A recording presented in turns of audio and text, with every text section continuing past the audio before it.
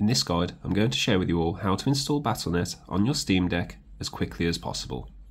From desktop mode, come over to your web browser we want to access the main Battle.net page linked in the description.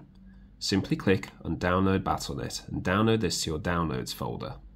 We want to access our Downloads folder and we want to right click on the Battle.net setup.exe we've just downloaded and click Add to Steam. Access our Steam library and using the search bar in Steam we want to use Steam and X to bring up our Steam keyboard and search for Battle.net setup.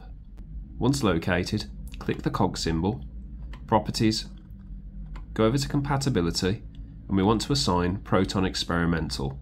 Close the window and press play.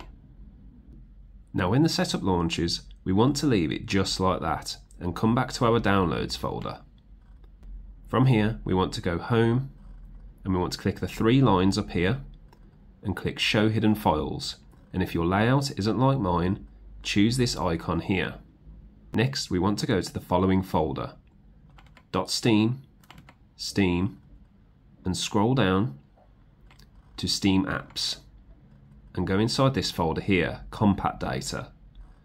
Press Modified twice and you'll see this folder here just now has been created and this is your Battle.net folder. So we're going to go in here, PFX, Drive C, we're going to go into Program Files x86.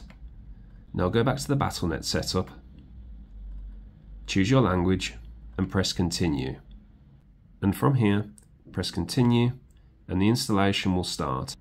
And you'll see that behind the window, a Battle.net folder has just been created. So go inside this, and you'll see the login screen just simply close.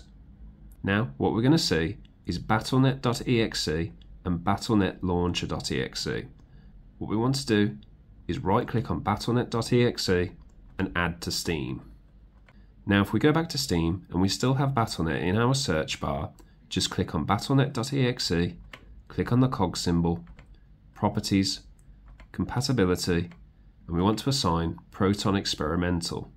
But from here, we want to go back to gaming mode. We want to press the Steam button, go to our library, and come over to non-Steam.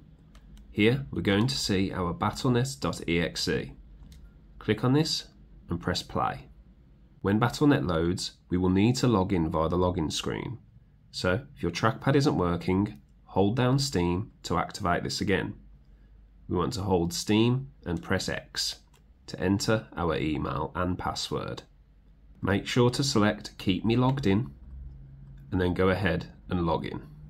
And once Battle.net loads, simply go ahead and install your favourite game. So in this case, I'm going to install Diablo 4. I'll go on Install and it shows the program files x86, that's where it's going to install.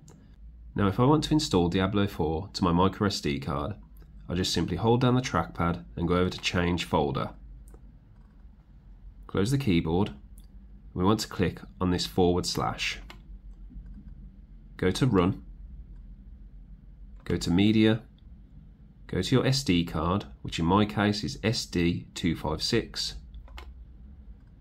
and provided you've created a folder such as Diablo 4 or anything else generic, I'm just going to go in this SD card folder, click open, and we can see DSD card Diablo 4. So it will create a Diablo 4 folder for us. It will say insufficient disk space, and that's this is just for an example. So I'll just go continue, take off the high resolution assets, 71 gig, and I can go ahead and press start install. If this guide helped you learn something new today, please give me a like, subscribe, comment and share this video with others. You all have a wonderful day, look out for one another and I'll see you later.